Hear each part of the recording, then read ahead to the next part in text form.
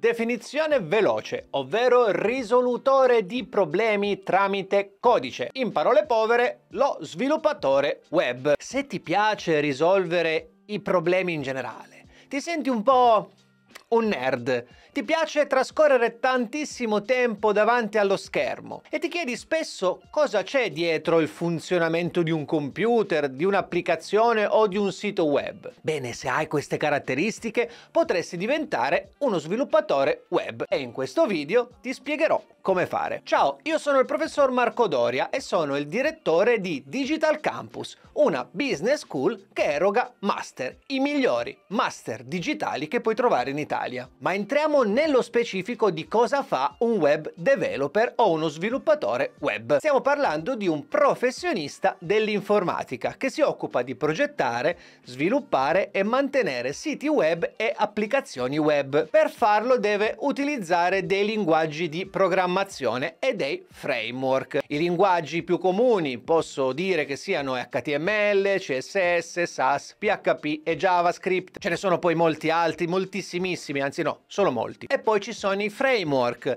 devi immaginarli come se fossero delle piattaforme, delle strutture che tramite le loro librerie aiutano lo sviluppatore a non diventare matto, quindi gli agevolano la vita, ma di questo parleremo tra poco. Cerchiamo adesso di capire quali siano le attività svolte da un web developer. In primis c'è la parte di progettazione, quindi progettare un'idea che parte dalla testa di una persona e riversarla tramite il codice sul web. Questo potrebbe essere un sito web di un'azienda, quindi un sito web vetrina, una cosa abbastanza semplice, oppure una web app molto complessa, magari un software SaaS. Facciamo esempio, magari uno come Fatture in Cloud che non ci sponsorizza, però lo usiamo come esempio, male non gli fa e non fa male neanche a noi. Quindi uno è semplice, l'altro è un po' più complesso. Poi ci sono le applicazioni sul telefono che sono un'altra cosa. Quindi di base deve saper dire al cliente come si realizza un progetto, quali siano le tempistiche, le risorse che servono anche come team e quali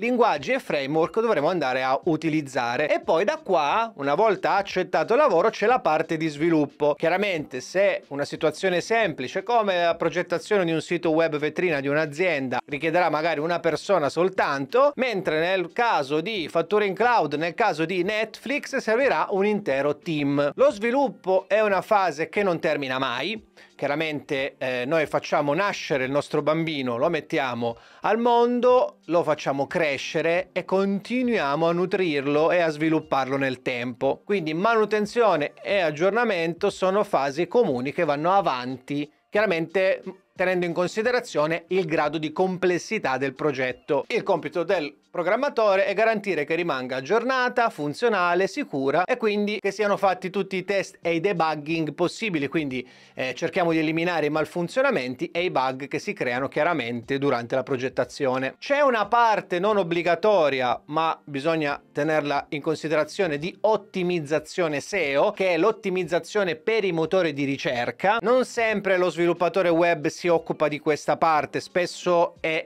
il reparto marketing che lo fa. Però chiaramente parlando di un progetto semplice che deve essere poi eh, indicizzato e posizionato sui motori di ricerca, dovremo avere delle basi di ottimizzazione SEO, quindi sapere come strutturarlo per far sì che sia gradevole ai motori di ricerca, vedi Google. Poi c'è una parte molto importante che è la progettazione anche dell'interfaccia e dell'esperienza utente, ovvero stiamo parlando della UI e della UX. Anche qua spesso c'è una figura esterna che si occupa di questo aspetto, quindi non è lo sviluppatore. Sempre considerando l'entità del progetto, su un progetto grande ci sarà una figura appositamente messa lì che riesce a uh, definire quale sia la migliore esperienza dell'utente, oppure nel caso di un piccolo progetto sarà lo sviluppatore stesso a definirlo. Fondamentalmente i compiti sono questi. Ora vediamo però dove lavora uno sviluppatore web. In generale potremmo dire che è collocato nelle software house, ovvero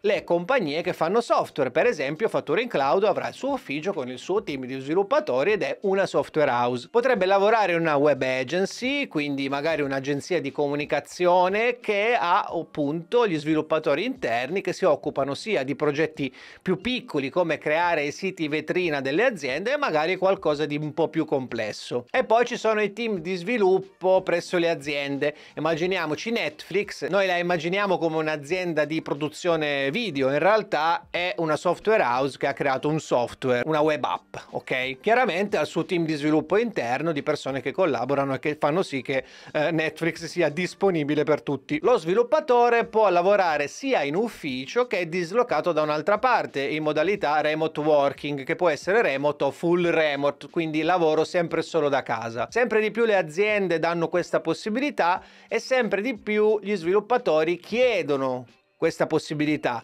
perché è anche comodo, siccome è un lavoro che comunque si può gestire tranquillamente in posti in contesti differenti, può far comodo per esigenze, spese, eccetera, lavorare da casa. Io personalmente non sono d'accordo con il remote working perché penso che sia un'atrofia alla persona, ma di questo magari possiamo fare un video a parte. Chiaramente ci sono persone che hanno necessità particolari, esempio accudire qualcuno che ci mancherebbe altro, va benissimo la soluzione remote e full remote, meno male che esiste, ma in altri contesti penso che possa solo far male alle persone, far male alla società e far male alle aziende. E in tutto questo lo sviluppatore può decidere se lavorare come freelance o come dipendente. Tantissime persone fanno il freelance perché si trovano bene a prendere più progetti con aziende diverse, cambiare, eccetera, essere comunque liberi e invece ci sono tanti sviluppatori che preferiscono comunque far parte di un team solido e rimanere in azienda e fare una carriera. Ok, tutto bello, ma in qualche modo si dovrà diventare web develop e vediamo come si fa. Allora, partiamo da un diploma, magari un diploma di un istituto tecnico ti può aiutare ad avere la mente già pronta, ma comunque va benissimo anche un liceo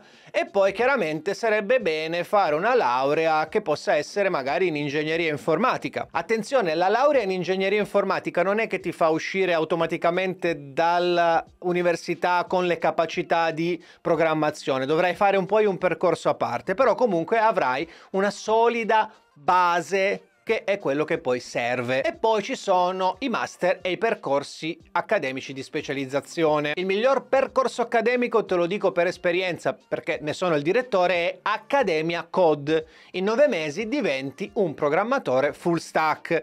Attenzione, cosa significa full stack? Semplicemente che hai capito come si lavora nell'ambiente di front-end, che è la parte che si vede davanti, e nell'ambiente di back-end, che è la parte che sta dietro. Il front-end è quello che vede l'utente, il back-end non si vede, lo vedono solo i programmatori. Per farla facile, eh? In code hai assistenza 7 su 7, un tutor a disposizione e la possibilità di studiare negli orari che tu ritieni più opportuni. Questa è la miglior condizione per imparare questo mestiere dai 9 ai 12 mesi. Diffida da corsi più brevi perché ti danno infarinature. Per fare questo mestiere l'infarinatura non serve. Qua non dobbiamo essere infarinati ma dobbiamo essere capaci. Quindi per farlo bisogna studiare in maniera più approfondita e ti serve più tempo. Il percorso in COD ti assicuro che ti farà uscire dall'accademia come uno junior che può iniziare questo mestiere. Garantito, gli strumenti sono quelli. Lo so perché abbiamo tantissimi studenti e tantissimi studenti che iniziano a lavorare a metà percorso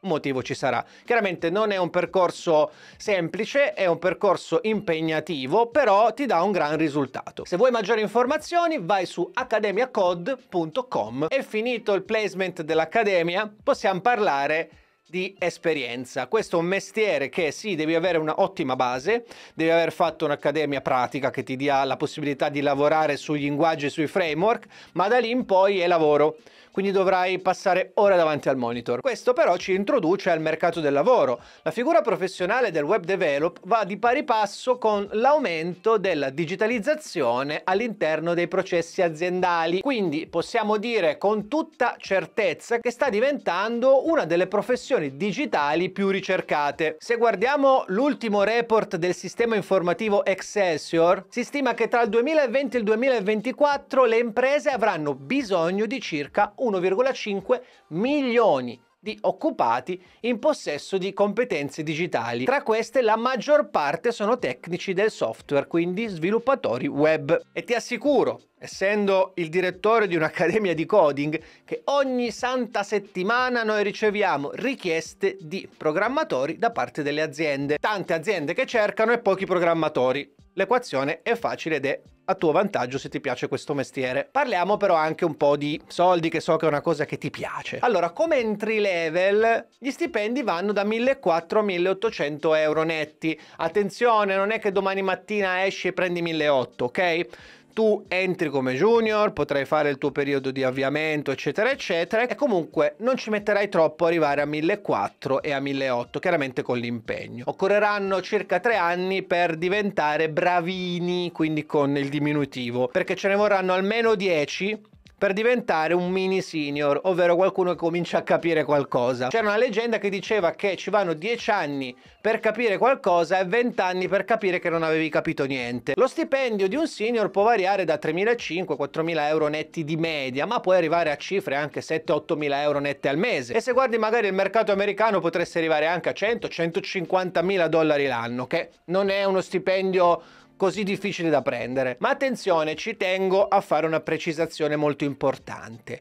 Non farti prendere dall'entusiasmo dei guadagni facili, perché non potrai fare questo mestiere se in testa hai solo i soldi. Se non ti piace programmare, non ti piace stare davanti al computer, non ti piace risolvere problemi, lascia perdere, non riuscirai mai a diventare nemmeno un junior. Figurati un middle o un senior. Quindi questo mestiere lo devi prendere molto seriamente, ok? Non è un mestiere facile, è un mestiere di difficile ingresso, ma dal momento che riesci a entrare perché riesci a fare qualcosa, non perché non ci sia lavoro, ma perché è difficile imparare, una volta che però hai imparato, i soldi saranno una conseguenza. Ma entriamo nel dettaglio della professione. Cosa serve davvero come hard skills per essere uno sviluppatore? Allora, in primis, l'abbiamo detto, sono i linguaggi di programmazione. Dovrai avere una solida padronanza dei linguaggi base, che stiamo parlando di HTML, CSS, SAS, PHP e JavaScript. Poi ce ne sono molti altri, ok? Ti potrai specializzare in un linguaggio nello specifico, in Python. E dire, ti piace il machine learning, ti piacciono gli algoritmi, ok. Però questi che ti ho accennato sono la base. E poi ci sono i framework e le librerie, come ti dicevo prima. I framework sono quelle piattaforme che tramite le librerie associate ai linguaggi hanno il compito di renderti la vita più semplice. Quindi Laravel, Bootstrap, RxJS, Angular, oppure React, Vue.js, Django, eccetera, eccetera. In tutto questo devi anche essere bravo con i database, quindi MySQL, diciamo nel mondo del database relazionale oppure non relazionali come MongoDB, eccetera, eccetera. Devi essere bravo con Git. Git è uno strumento che serve sia per far comunicare i nostri programmatori, ma anche per avere la possibilità di intercettare una cronologia di progettazione. Quindi quando si lavora in team bisogna saper usare Git. C'è la parte di responsive design, che è anche molto importante, cosa che tanti danno per scontata, ma comunque bisogna saper programmare sia per uno smartphone, sia per un iPad, sia per un monitor di due metri. E ricordiamo la parte di ottimizzazione e UX design, anche se non è proprio fondamentale per questo mestiere, però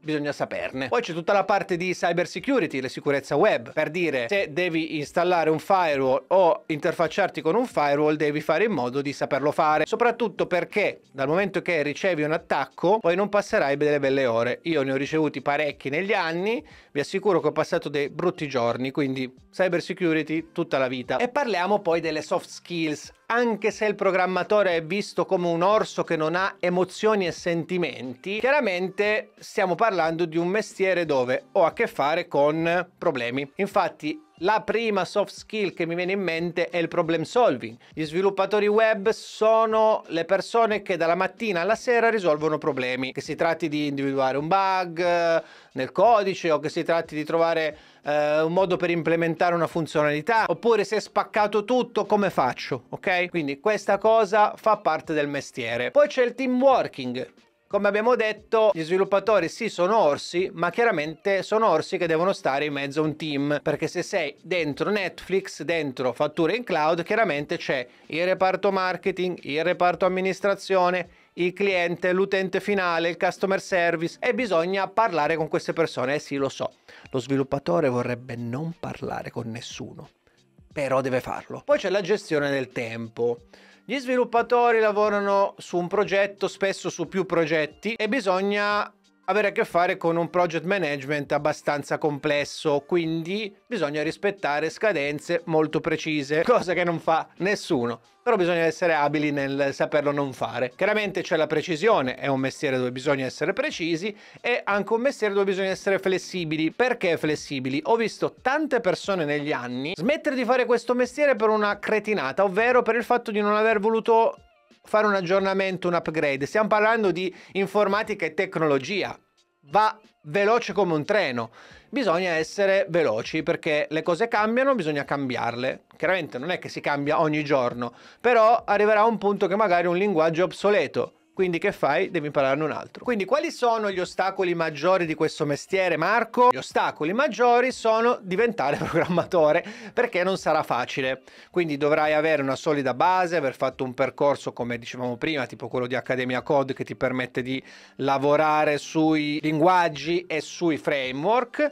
Poi dovrai inserirti nel mondo del lavoro e fare passare tanta di quell'acqua sotto i ponti di occhi sul monitor che la metà basterebbe, anzi non basterebbe, e poi continuare sempre a migliorare. È un mestiere così, quindi è difficile diventare senior, ma se ci riuscirai arriveranno oltre che un sacco di soldi anche un sacco di eh, proposte di lavoro, tutti ti vorranno, ma arrivare lì non sarà facile, te lo garantisco. Poi non è neanche una cosa che non è possibile fare con un po' di pazienza e lavoro ci si arriva. Ma se vuoi prendere questo mestiere solo per i soldi, come ti dicevo prima, è meglio che lasci perdere perché non lo potrai mai fare. Aggiungiamo anche che è un lavoro stressante, sei sempre nei problemi, ok? La tua testa continua a lavorare anche quando stacchi, infatti bisogna diventare bravi a staccare. Però stiamo parlando di un mestiere che sarà sempre più ricercato, sarà sempre più importante, sarà sempre più pagato e che comunque dà molte soddisfazioni perché da un'idea portare tutto questo nel codice chiaramente è come veder crescere una propria invenzione. Detto questo, se ti piace l'idea di diventare uno sviluppatore sulle maniche è avanti tutta perché questo è il momento forse per fare quel cambio che ancora non hai avuto coraggio di fare. Ricordati che la disoccupazione non esiste, esistono solo delle competenze che devi ancora acquisire. Se questo video ti è piaciuto mi raccomando un piccolo like, se vuoi lasciami un commento, scrivimi, mi piacerebbe approfondire questo mestiere o quell'altro, cercherò di accontentarti con un altro video come questo e ti aspetto alla prossima puntata.